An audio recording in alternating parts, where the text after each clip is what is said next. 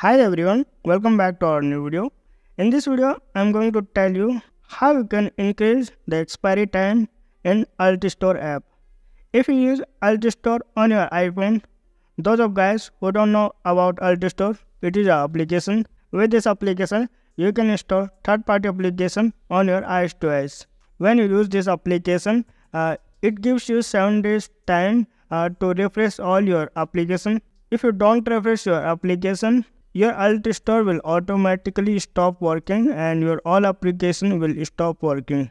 So like uh, you can see, uh, I installed two application on my iOS. So in this video, I'm going to tell you how you can refresh AltStore or increase the AltStore expiry time to the unlimited and your AltStore will keep working. You don't need to refresh AltStore again and again and you don't need the PC to refresh it. So video is very important. Please uh, make sure to watch till end. And if you are new to this channel, please uh, subscribe our channel and also press the bell icon. So guys, to increase the alt AltStore time, uh, first of all, you need to go to home screen and let me enable the assistive touch so can I can easily uh, explain you.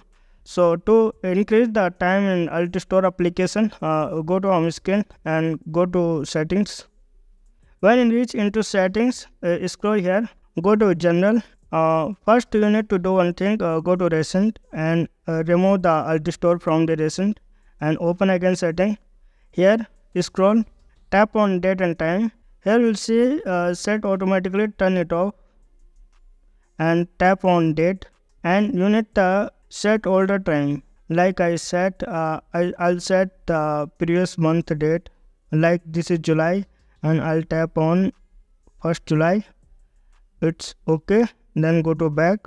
Uh, again we'll tap on date and time and that will confirm. As you can see the date is 1 july 2024 now it is 15 october 2024 so i'll go to home screen and make sure your alt store is uh, not running in the background as i close it this application from background. Now i'll show you i'll open the alt store and this is showing this type of message. Ignore it. Go to my apps. And as you can see guys it will expire in 111 days as you can see here.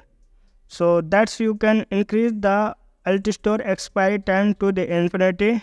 Your AltStore will keep working. It will not stop and your all application which you installed from AltStore will keeps working. So again i'll go to setting and change the date or time set previous year date like as you can see i'll set um, october 2023 first october i'll select and i'll go back. Then i'll close the alt store from recent and again i'll open the alt store and i'll go into my apps. As you can see the expiry time is 385 days. So that's you can increase the alt store expiry time. You don't need to a PC to refresh the AltStore every time.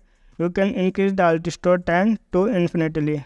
So if you found this video informative, please uh, like this video and if you are new to this channel, please subscribe our channel. Also press the bell icon. I make only iOS related videos for you guys. Thanks for watching. Bye bye.